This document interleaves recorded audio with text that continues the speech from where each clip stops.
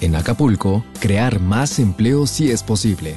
Que se otorguen proyectos productivos para crear empleos si es posible. La panadería Yolanda y cientos de proyectos productivos que impulsamos desde mi gobierno generan muchos empleos para los acapulqueños. Las mejores inversiones del ayuntamiento son las que creen en la gente y les ayudan a autoemplearse. Un mejor Acapulco sí es posible. Seguimos trabajando. Tercer informe de gobierno. Manuel Añorbe.